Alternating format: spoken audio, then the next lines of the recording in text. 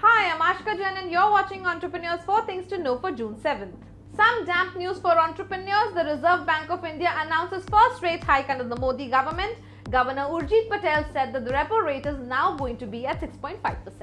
The Microsoft Seeing AI app for the visually challenged has now seen an upgrade. The talking app will now identify the Indian currency and will be able to share the denomination with the user.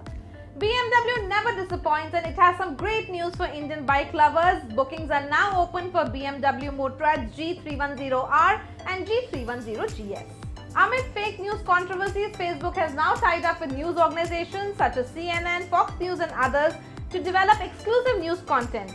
Will Facebook India follow suit? Time will tell. We bring to you Entrepreneur Asia Pacific. Don't forget to like, subscribe and follow.